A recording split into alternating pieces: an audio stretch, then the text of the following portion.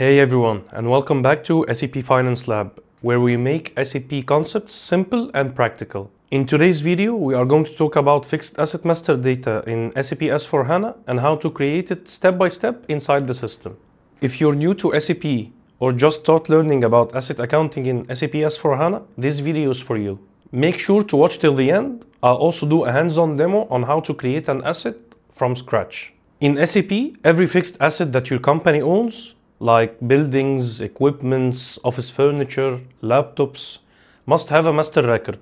This asset master data stores all the essential information about the asset. For example, which company code and asset class it belongs to, the cost center responsible for it, the useful life and depreciation areas, and even information like location, vendor, and serial number. You can think of it as the asset's identity card in SAP.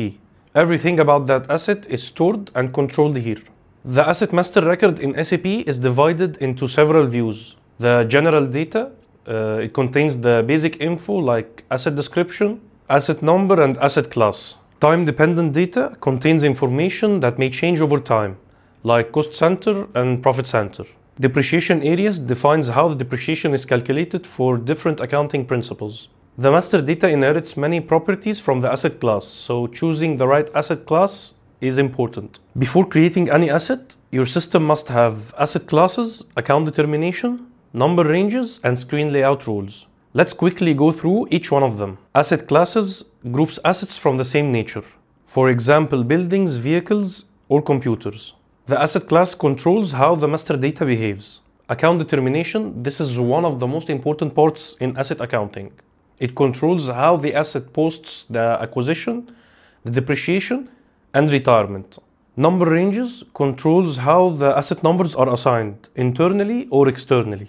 Screen layout rules define which fields appear in the master data record, which fields are optional, mandatory, or hidden. So when you create an asset, the system combines all these settings from the asset class to make sure that the asset master data is consistent and accurate.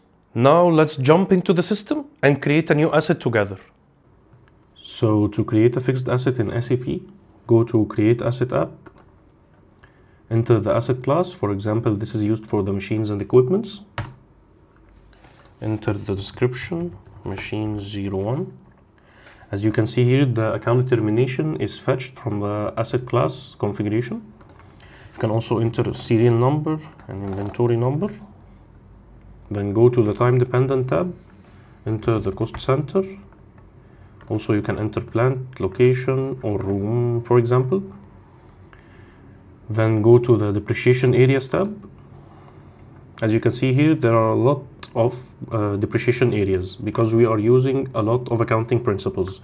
So for the GAAP accounting principle we are using the 01 for the leading ledger uh, and the depreciation key SUL1 with the useful life 10 years for another accounting principle, the IFRS, we are using another depreciation key and another useful life.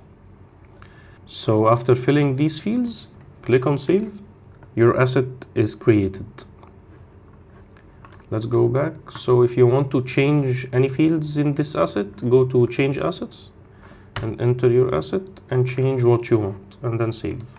If you want to display it, go to Display Asset, enter the asset number and here you are. So, to summarize, the fixed asset master data is the backbone of asset accounting in SAP. It defines how each asset is controlled, posted, or depreciated. We learned about asset classes, account determination, screen layout rules, number ranges, and we created a master data record step by step. If you found this video helpful, don't forget to like, subscribe, and share this video to your SAP colleagues. Thank you for watching and see you in the next video.